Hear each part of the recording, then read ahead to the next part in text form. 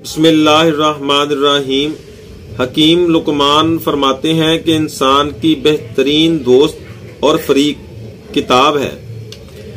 जो बंदा इरादा कर ले, उसके लिए कुछ भी नामुमकिन नहीं। ख्याल से ज़्यादा मज़बूत चीज़ पूरी कायनात में नहीं है।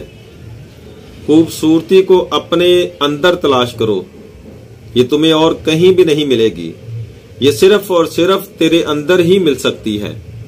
सुख और मुसरत ऐसे इतर हैं, जिन्हें जितना ज़्यादा आप दूसरों पर छिड़कोगे, उतना ही ज़्यादा खुशबू आपके अंदर से आएगी। इंसान की ज़िंदगी मुस्कुराहटों और आंसुओं पर मुश्तमिल है, और इंसान उनके दरमियान लटका हुआ है। अगर जज्बा ही नाकामी का हो तो कामयाबी कभी भी हासिल नहीं होती। मुआशरे में दो किस्म के लोग हैं, सताने वाले और सताए हुए। इनके मिलने से मुआशरा बनता है। खुलूस के बगैर दिल उस सदफ की मानद है, जिसमें मोती ना हो।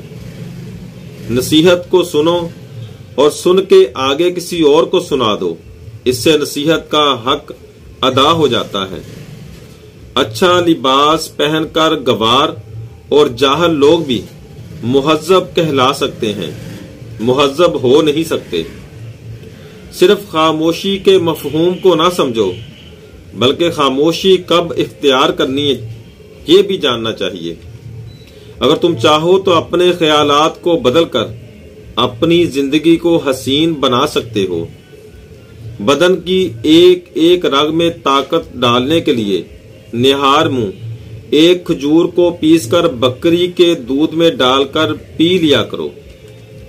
नेक की शुरुआत मुश्किल, लेकिन अंजाम इंतहाई राहत और सुकून बख्श होता है, जबकि बदी का इसका उल्ट है। ज़्यादा दौलत की लालच ना करो, ज़िंदगी और सेहत थोड़ी सी आमदनी पर भी कायम रखी जा सकती है। दोस्तों, दुआओं में याद रखें। अल्लाह हाफिज़।